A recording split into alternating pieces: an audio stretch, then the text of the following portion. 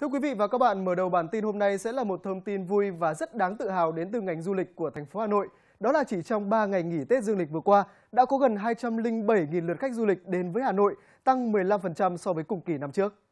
Con số trên do Sở Du lịch Hà Nội công bố và được tính trong thời gian từ ngày 31 tháng 12 năm 2016 đến ngày 2 tháng 1 năm 2017. Trong số gần 207.000 lượt khách du lịch đến với Hà Nội, không chỉ có lượng khách quốc tế tăng mạnh, ước đạt trên 53.000 lượt, mà số lượng khách nội địa cũng tăng đột biến với khoảng hơn 153.000 lượt.